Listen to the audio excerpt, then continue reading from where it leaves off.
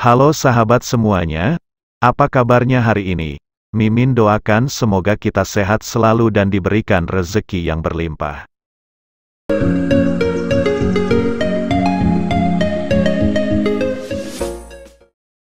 Dengan menyandang nama besar mereka di industri hiburan, sejumlah artis tersohor tanah air berlomba-lomba mengadu untung dengan maju sebagai calon anggota legislatif atau caleg di pemilu tahun 2024 ini. Walaupun banyak dari mereka yang harus gigit jari lantaran kalah suara dan gagal lolos menjadi anggota DPR, namun tak sedikit juga yang berhasil menang dan lolos menjadi wakil rakyat yang terhormat di kursi legislatif. Berdasarkan hasil rekapitulasi suara nasional yang telah dirampungkan oleh Komisi Pemilihan Umum atau KPU, setidaknya terdapat 30 caleg artis yang berhasil lolos menjadi anggota DPD, DPRD dan DPR RI siapa saja artis-artis tersebut. Berikut daftarnya yang telah tim Putra Silampari rangkum, lengkap dengan jumlah perolehan suara dan partai pengusungnya. Silahkan sobat tonton videonya sampai selesai.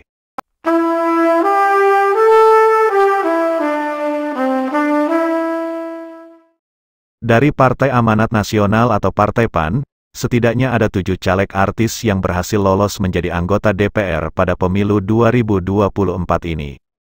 Di urutan pertama, caleg artis yang lolos dari Partai PAN adalah Uya Kuya. Entah karena sudah bosan berkarir sebagai artis, presenter kondang Uya Kuya akhirnya memilih terjun ke ranah politik. Maju bertarung memperebutkan kursi DPR RI mewakili daerah pemilihan DKI Jakarta II. Uya Kuya berhasil memperoleh suara sebanyak 46.326 suara dan berhasil lolos ke Senayan. Selanjutnya yang kedua, ada nama Astrid Kuya, tak mau kalah dengan Uya Kuya suaminya. Astrid Hairunisa atau Astrid Kuya juga ikut terjun ke ranah politik meramaikan kontestasi caleg di pemilu 2024. Maju mencalonkan diri sebagai anggota DPRD DKI Jakarta di Dapil Jakarta 7. Astrid Kuya juga lolos menjadi anggota legislatif setelah meraih 13.409 suara. Dan yang ketiga, caleg artis dari Partai PAN yang lolos adalah Ferel Bramasta. Tak hanya dari kalangan artis senior, artis muda juga memiliki kesempatan berkontribusi untuk negeri ini. Seperti Ferel Bramasta, bercita-cita memperjuangkan hak-hak korban KDRT, putra sulung Vena Melinda ini maju mencalonkan diri sebagai caleg DPR RI mewakili Dapil Jawa Barat 7, memperoleh raihan suara sebanyak 94.810. Ferel juga sudah dipastikan lolos ke Senayan. Berikutnya yang keempat, artis yang lolos sebagai anggota DPR ada nama Baby Z Sri Mulyati. Pedangdut cantik Baby Z maju sebagai caleg DPRD DKI Jakarta mewakili Dapil Jakarta 3. Mendapatkan dukungan suara sebanyak 15.521 suara. Baby Z berada di posisi ketiga dari sembilan kursi yang diperebutkan di dapil tersebut, dan lolos menjadi anggota Dewan yang terhormat. Dan yang kelima, ada nama Paksa Ungu. Penyanyi yang memiliki nama asli Sigit Purnomo ini rupanya memutuskan untuk tetap melanjutkan karirnya di ranah politik, dan berhasil lolos berkantor di Senayan sebagai wakil rakyat yang terhormat mewakili Dapil DKI Jakarta 3, dengan perolehan suara sebanyak 50.222 suara. Selanjutnya yang keenam, ada nama Eko Hendro Purnomo. Pelawak senior yang lebih dikenal dengan nama Eko Patrio ini merupakan caleg petahana yang telah memiliki segudang pengalaman di ranah politik. Telah mengecap manisnya menjadi anggota legislatif, Eko Patrio kembali maju menjadi caleg DPR RI mewakili Dapil DKI Jakarta 1. Dengan perolehan suara sebanyak 93.673, Mas Eko juga dipastikan lolos ke Senayan. Dan yang ketujuh, Caleg artis dari Partai PAN yang lolos pada pemilu tahun 2024 ini adalah Primus Justisio.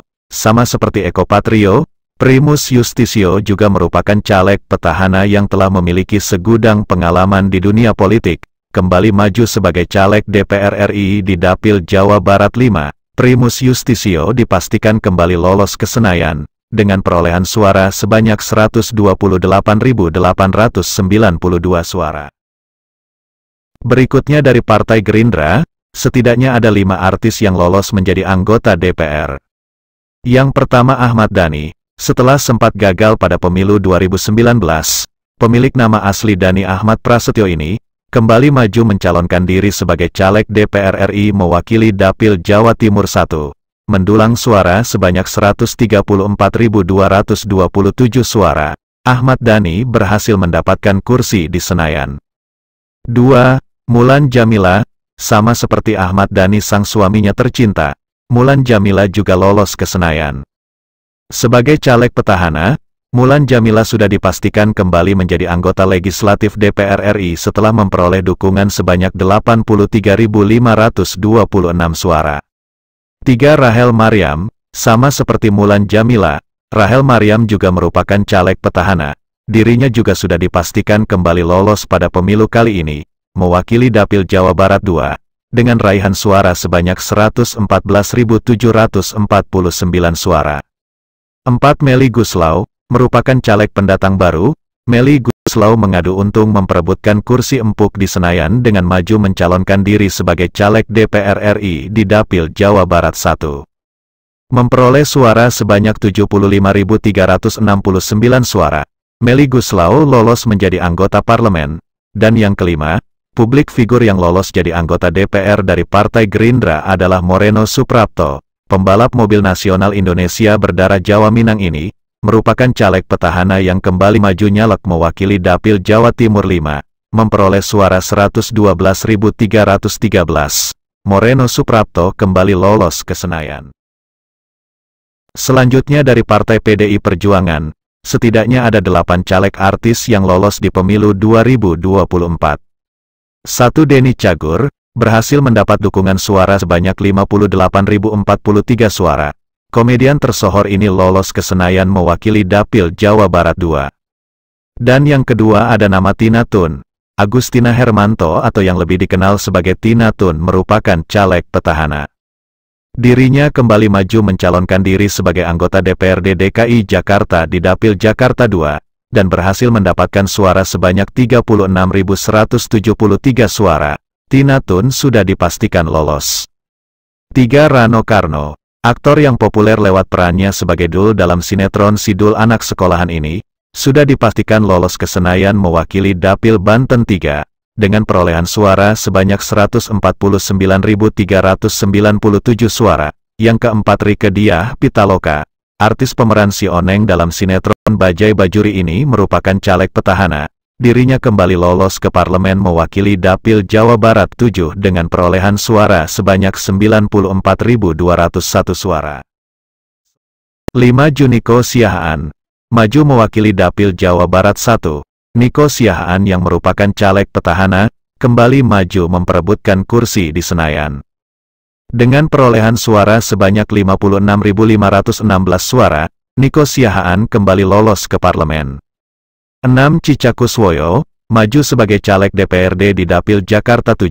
Artis senior Cica Kuswoyo juga sudah dipastikan lolos sebagai anggota legislatif dan bertengger di posisi ketujuh dari 10 kursi yang diperebutkan di dapil tersebut dengan raihan suara sebanyak 15.578 suara.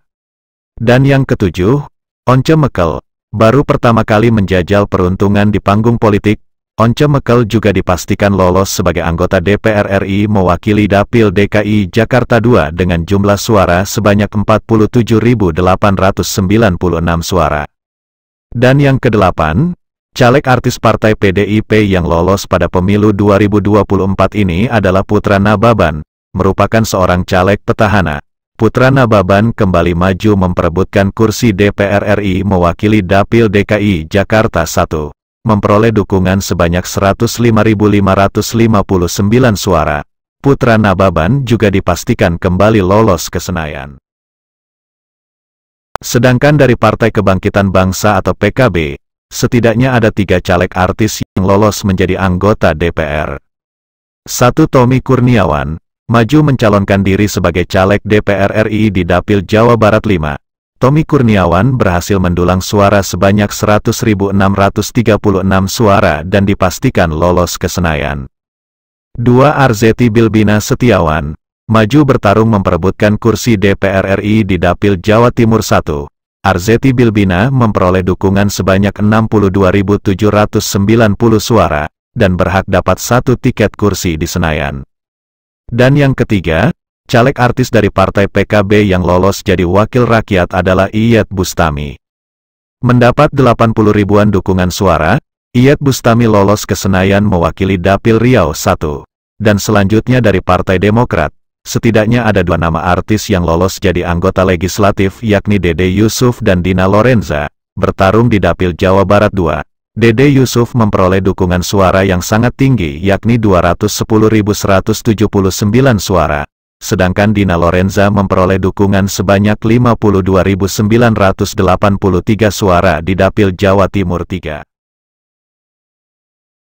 Dan berikutnya lagi dari Partai Golkar, juga terdapat dua caleg artis yang lolos pada pemilu tahun ini.